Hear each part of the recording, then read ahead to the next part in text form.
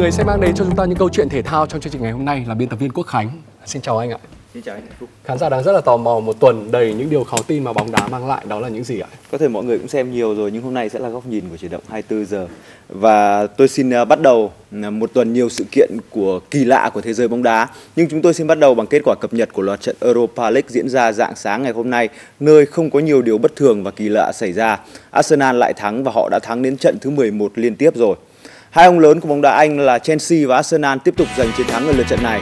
Đáng chú ý, cầu thủ mới có lần thứ hai đá chính từ đầu mùa là Loftus-Cheek đã ghi cả 3 bàn thắng cho Chelsea trong chiến thắng 3-1 trước ờ, Borisov trong một trận đấu mà huấn luyện viên Sarri cất tới 6 trụ cột. Trong khi đó thì Danny Van Beek, cầu thủ ghi bàn thắng duy nhất vào lưới Sporting Lisbon, giúp cho Arsenal thắng trận thứ 11 liên tiếp. Nhưng ấn tượng hơn cả là hai đội bóng Tây Ban Nha, ờ, đó là Villarreal và Sevilla lần lượt thắng 5-0 và 6-0 trước các đối thủ của mình. Trái ngược với những kết quả này là màn trình diễn đáng thất vọng của AC Milan và Olympic Marseille với những thất bại ngay trên sân nhà trước Betis và Lazio Roma. Bây giờ sẽ là câu chuyện chính.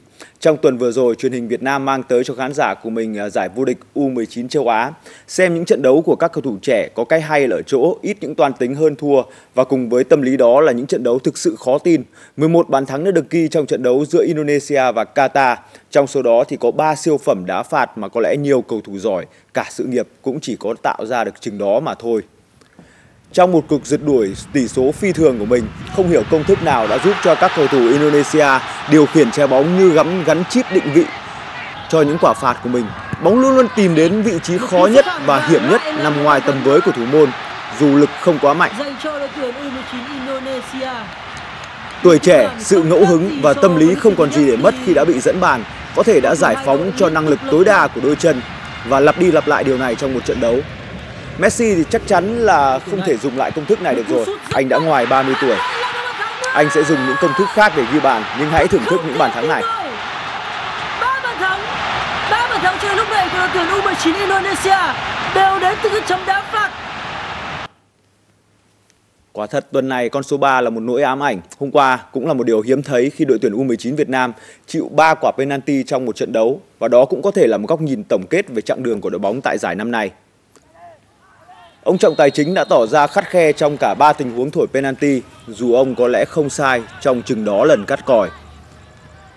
Kinh nghiệm sẽ là thứ mà các cầu thủ phòng ngự trẻ của chúng ta phải rút ra sau giải đấu lần này. Những pha can thiệp nhạy cảm ở những tình huống chưa mấy nguy hiểm cho khung thành. Những pha chạm tay lóng ngóng đã để lại những cơ hội cho đối phương ở cự ly 11 m. Chúng ta vất vả ghi được một bàn thắng đẹp. Không thua vì những tình huống 10-10 nhưng lại thủng lưới vì những sai lầm không đáng có và các cầu thủ trẻ sẽ trở về nhà với một trải nghiệm quan trọng từ thất bại này. Và thất bại này thì không nói lên trước điều gì về tương lai phía trước của họ cả, mọi chuyện mới chỉ bắt đầu ở tuổi 19. Nhưng nếu xét về độ ăn khách, về lượt xem trên mạng Internet thì sự kỳ lạ của giải đấu ờ, năm nay thì quán quân phải là pha bỏ lỡ cơ hội của các cầu thủ Hàn Quốc và lại là một con số 3 nữa.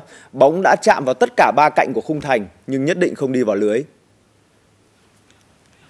Sự hấp dẫn của bóng đá có thể nhìn nhận dưới góc độ khoa học, một quả bóng hình cầu được bơm hơi trong một vật liệu đàn hồi. Khi tác động vào một khung hình chữ nhật bằng kim loại có thể tạo ra những quỹ đạo bay không thể đoán trước. Hoặc một lực tác động vào hình cầu đó theo phương nằm ngang nhưng khối hình cầu đàn hồi lại đi thẳng lên phía trên và tìm đến khung chữ nhật còn lại của khung thành. Và kết quả là chúng ta có bóng đá. Sự hấp dẫn không thể chối từ.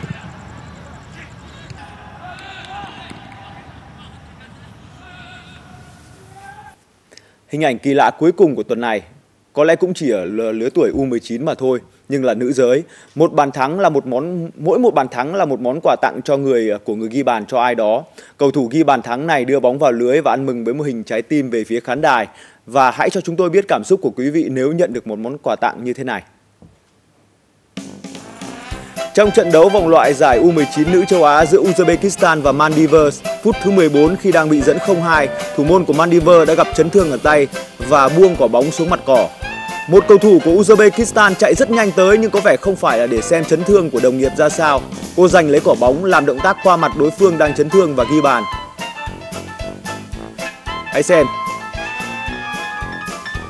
Theo luật bóng đá, bàn thắng được công nhận.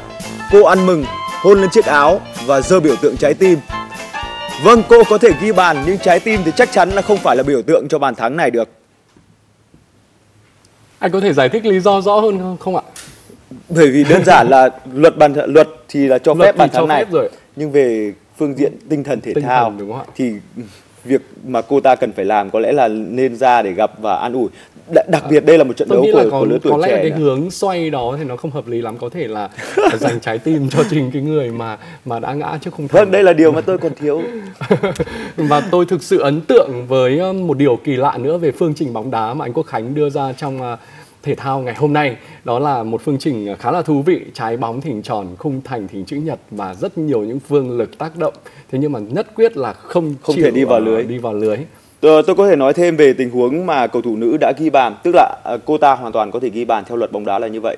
Nhưng ăn mừng một cách tương bừng thì tôi nghĩ đó là điều không hợp lý. Đó là những gì tôi có thể nói. Đó là tất cả những cảm xúc mà bóng đá đem lại cho chúng ta. Vâng. à, cảm ơn biên tập viên Quốc Khánh với những câu chuyện thể thao. À, khó tin trong chương trình ngày hôm nay. Cảm ơn anh Phúc